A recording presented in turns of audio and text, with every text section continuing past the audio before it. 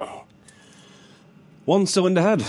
As you saw in the last video, here, we took this off because it was smoking. During taking it off, I did find that the the the air intake manifold has got quite a significant amount of oil in it. So it's quite likely that we didn't need to take this off at all. But given the trip that we've got coming, we deem it necessary just to check it over anyway. So we're going to just check over all the uh, hot plugs. We're going to do the glow plugs, head, head gasket, check the cylinders because we've put some diesel in the cylinders just to see if if it holds, if it does all well and good. If it goes through the cylinders, through the rings, we think there's an issue with the rings.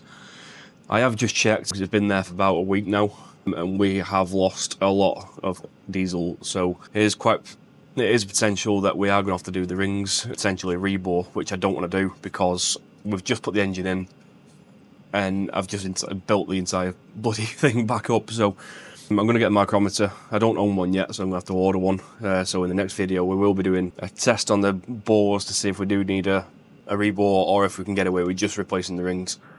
Fingers crossed we can just do the rings. I did drive it as it is now, and it does seem to drive nicely. It's just the oil that's made me take the head off, so it could be a case of we'll just put the rings in. We will let you know, but for now, we're just going to go through the cylinder head, the checks I would normally do. Uh, I'm going to give it a bit of a clean up, replace the valve seals, reseat the valves, um, and just generally try and clear some of the uh, carbon off it. So let's get to it. You can see the rings, so you've got your intake and exhaust valves all the way through. Push, push rods go through here for your rockers on the top that we took off. Enter a picture in picture here so you can see what I'm talking about.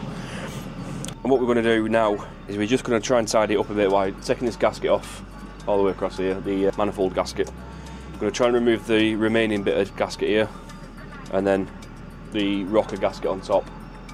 We'll go from there. We've taken the valves out, etc. Um, look at the seals, looking if there's any damage on here with the hot plugs.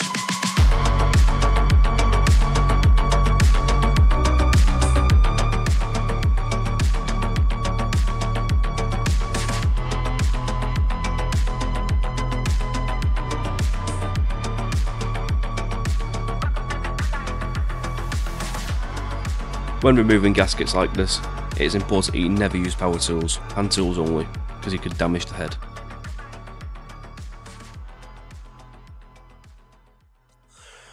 So now we've cleaned off all the gasket underneath and the, and the uh, manifold gasket. We've not done the top yet because we'd be easier when the, uh, the valves are out. So this is a, a valve remover. That hole uh, sits on top of your valve and it pushes the outer diameter um, washer, if you like. It presses on that. It's like a cone in there, but it's two halves. So when you press this down, you can remove the two halves, and then you wind it, wind the pressure back off again, and then the spring and the cap comes off, and then you can release, uh, remove your valve from the bottom. So that's what we're going to do now. We just build this up.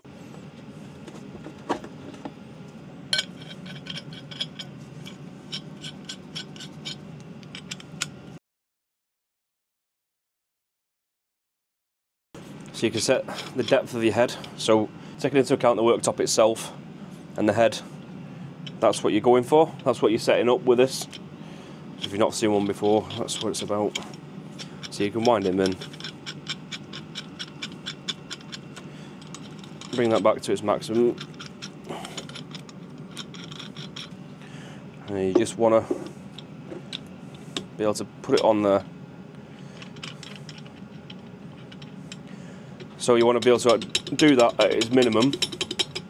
Just zoom you in a bit. So you do want a bit of play as a minimum, because then you can take it off without having to mess around with the bottom all the time. And when you put it on, just winding it down, and then it'll grip. So you've got to try and keep it central. We'll do this one first, it's already on there. Usually start from the end, but that's what we'll do. So with this hand, I'm just keeping it centralised.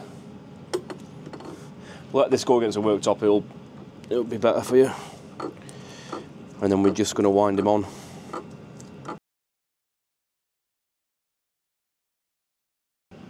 So inside there, you've got your comb that I was telling you about. And I'll just get a little tool here and poke it out. You see how it's just split? So what you need to do, you need to carefully remove that.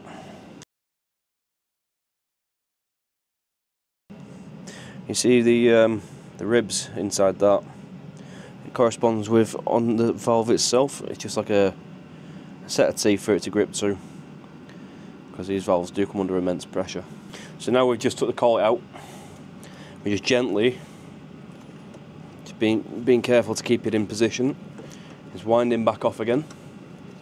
So we're anti-clockwise, allowing the spring and the cap to come back up. And because you've set it up the way you have, you'll have this gap now, which allows you just to take the pressure off completely and take it off.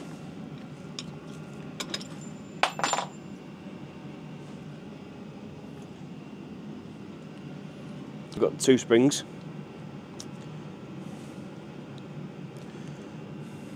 Don't know if you can see it that well, but there are two springs there, and there's your cap. And he just sits in there like that with your valve. Sits in. Sits in there comes out the top. That's all it is. If you look through the hole you see there is a taper to it which accommodates the collet we just took out. So what I'm going to do is we want to put these back on the same place you removed them from. You see how the valve now is loose? If we lift the head up we can drop it out the bottom and then inside here I'll show you in a second we've got the uh, the valve seals but we'll get to that in a second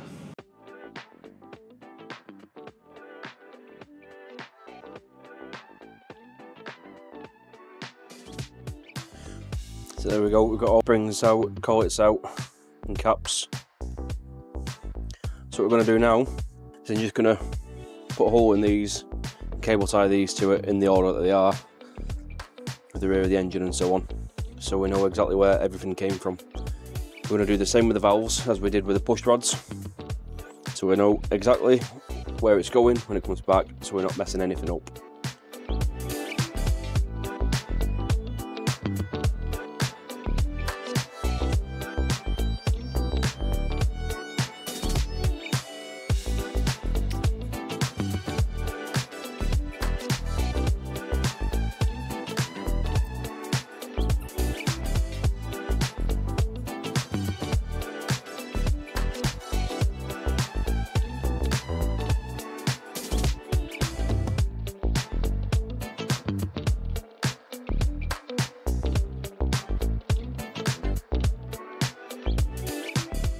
Valve seals.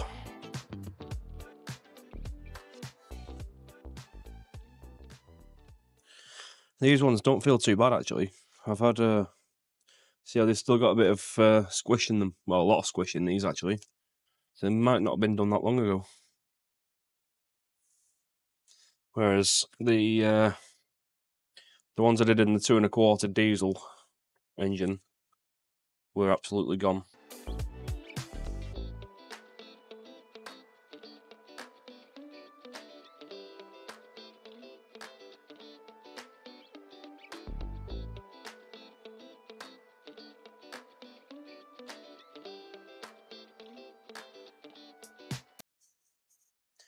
Most people are having a nice beer or a glass of wine at nine o'clock, uh, seven o'clock on a Saturday night. But there's me drinking Vimto.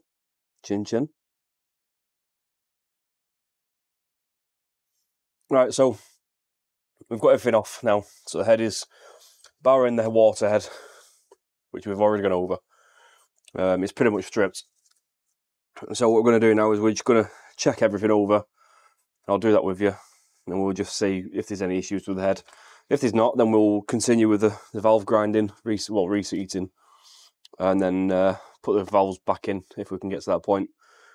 So um, let's have a look. So what I usually look for is cracks around the valve seats, any chunks out of them, you know, or any large carbon build-ups. But up to now, everything looks okay. So that's there's no cracks in the cylinder. You know, as I say, the cylinder area, the combustion area. I don't know if you're aware, but these rings are where the piston comes up and uh, combusts fuel and air mixture before being pushed back down again. Same with the end one, which is the front piston one, cylinder one. So that's okay. And now we've got the hot plugs.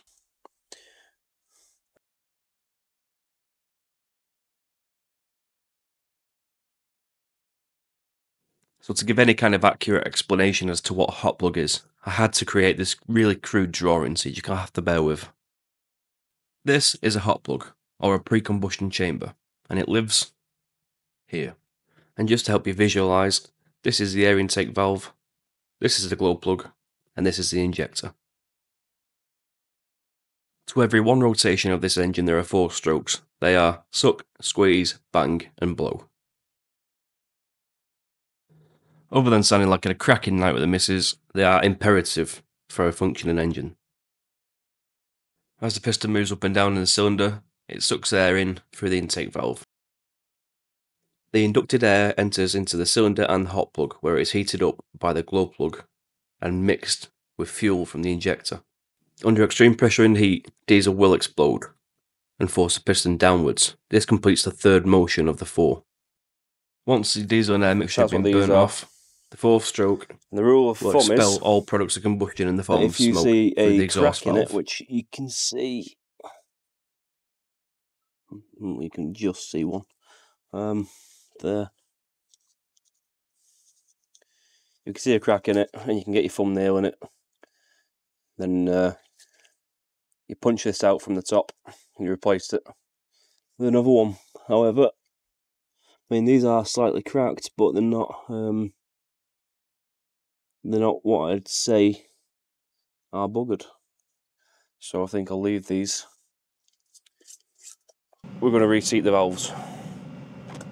And you've got to do that one by one. You've got to do each valve in each where it came from. You can't just do one valve in all of them, you have to do them all because it grinds to the seat. So let's do that. You can order a kit online, which is where I got this from. Uh, Amazon, I think I got it off. A couple of quid. You get a, a stick, which is effectively just what it is. It's a stick with two suction cups on. So these suction cups are applied to your valves. I get my uh, first valve out, which is that one goes in yon.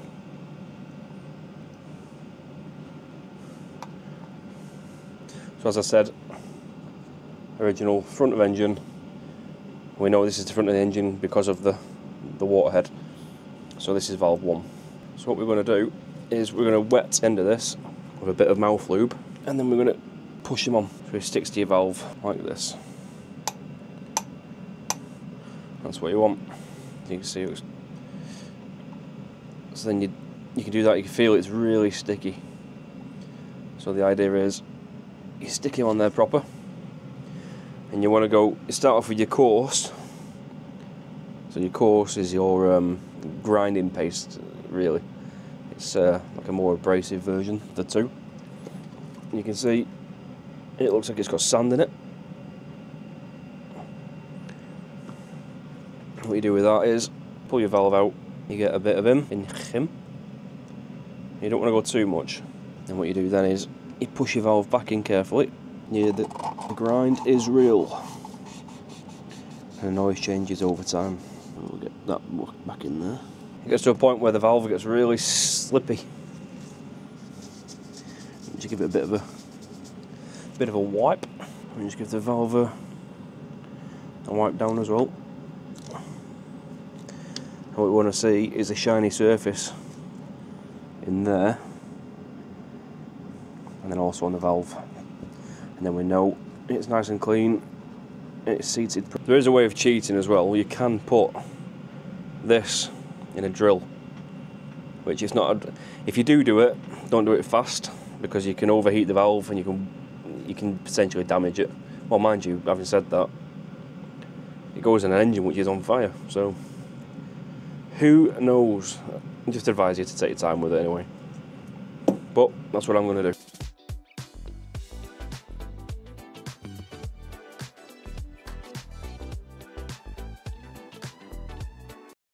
Um, and that took some bloody time. Me just quickly show you. So if you look at the valve, you can see how nice and smooth it is. And the same with the same with the um, valve seat as well. See it's nice and flat. Well, not flat, but nice and clean. And it's a nice satisfying click when it goes back in. We've done that all the way around. All the way through the head.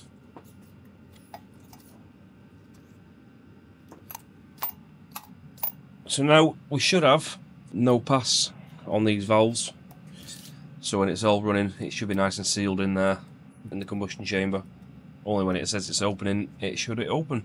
So now it's a case of putting the seals back on, well the new seals on, putting the spring caps back on, and then that's it for today.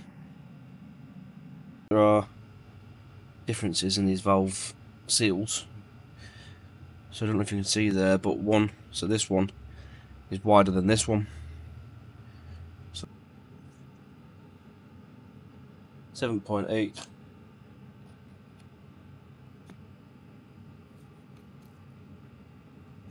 8.5 so the wider bore one goes on the exhaust valves.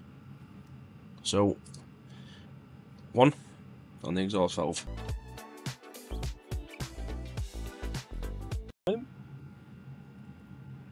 then you can go with the top topo down there so what you do with these now is just push them on push them from the top and they'll seat themselves. A nice little satisfying click. Like that. Like that. And like that. Like a glove. If you haven't got a Vern, Vernier, they're called, but I call it Vern. Plus it's about the size of Mr. Troyer, bless him. Uh, you, you should get yourself one they are invaluable. So we're just going to get these done first and then we'll do these two valves that I'm going to have to put back in because I moved it and they fell out. So let's get these retained and then we'll be uh, hot to trot.